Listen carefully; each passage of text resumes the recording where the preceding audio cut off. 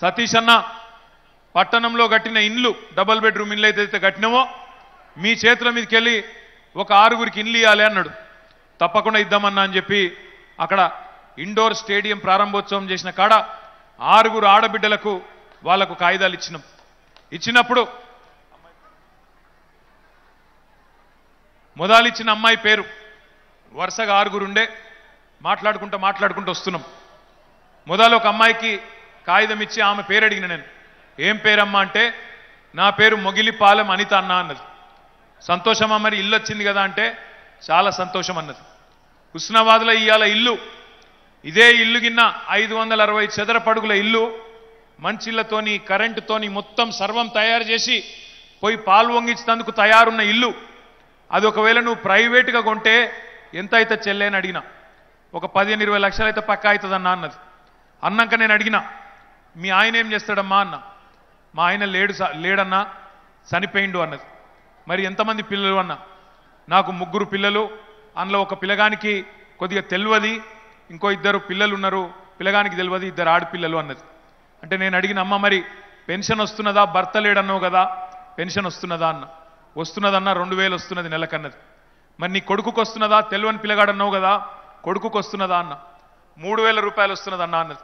ఇద్దరు బిడ్డలు ఉన్నారు కదా మరి వాళ్ళకేమైనా అందిందా ప్రభుత్వం నుంచి అంటే ఒక పాప గురుకుల పాఠశాలలో చదువుతున్నదన్నా అనే మాట చెప్పింది. ఇంకొక పాపకి ఏమైనా చేయాలన్నా అంటే పెరుగుతుంది పెరిగినాక మా మేనమామ కేసీఆర్ కళ్యాణ్ లక్ష్మి ఇస్తాడన్నా నాకేమద్దు ఇవి చాలు నాకని చెప్పింది. ఇది హుస్నాబాద్లో మొగలిపాలెం అనిత కథ మాత్రమే కాదు. ఇలా హుస్నాబాద్లో మీరు ఏ ఇంటికన్నా ఉండ్రి హుస్నాబాద్ నియోజకవర్గంలోని ఏ ఊళ్ళో ఏ ఇంటికన్నా ఉండ్రి పెద్దలు చెప్తారు హనుమంతుని గుడి లేని ఊరు లేదు. అట్లే కేసీఆర్ సంక్షేమ పథకం అందని ఇల్లు హుస్నాబాద్లో ఎక్కడ లేదు అనే మాట అతిశయోక్తి కాదు. నేను ఉత్తగానే చెప్తలేను. లెక్కలు చూసుకొనే చెప్తున్నా. ఇక్కడికి వచ్చే ముందే తెలుసుకున్నా.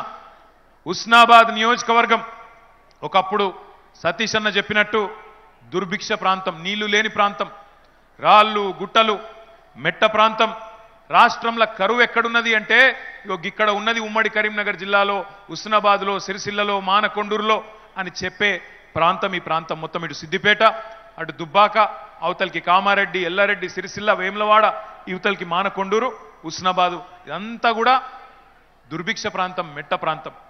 నెత్తురు గారిన నేల ఇది. ఒకనాడు నెత్తురు గారిన నేల ఈ ప్రాంతం ఈ ఉమ్మడి కరీంనగర్ జిల్లా.